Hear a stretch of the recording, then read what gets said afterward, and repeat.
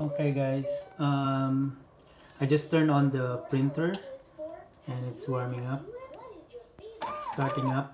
So uh, I have this, uh, I have this annoying uh, startup page like uh, it always print out a configuration report. It always print out configuration report all um, every time I turn on the printer uh, it's uh, B215 uh, Xerox. So what I did um, I logged on to um, the um, app on my computer. If you can see this uh, icon here I'll show you the icon. This one just click on the icon right click and open I don't know how I turn I uh, I open the display but just uh, right click or and then you have to log on to the um, this is a, I don't know if it's a website or ah yeah maybe. Built-in website um, or uh, connected to the internet I don't know. So uh, so uh, you have to log on and uh, create a new password if your um, printer is new. So the, the the username is admin and then the password is your uh, serial number. So you can see it in your configuration report. The password is your uh, serial number. You see my where's my serial number?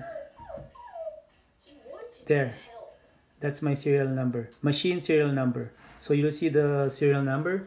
You just type in the uh, serial number and then uh, create a new password. And then go to this uh, menu. Services. Uh, there's a um, uh, scroll um, pop down menu see the how can I focus that?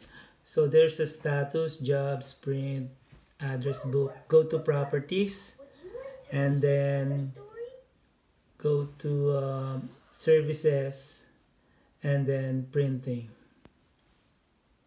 Printing. So you'll um, this screen will show up and then you have to disable.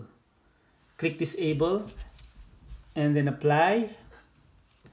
And it will ask you for the username and password. Username is admin if you didn't change it. So the password is your uh, the password that you created. Remember you change the password? That's the password you're gonna use. And then once you sign in sign on that uh, pop-up uh, screen. There's a pop-up screen will show up right it, uh, just sign in and then click OK. And then uh, that's it. Click apply. I mean uh, click disabled select disabled and then apply. After that you can turn off your printer and then uh, try to test it if it works. If it works please like my page and then uh, uh, click the subscribe button. Okay guys thank you for watching. That's about it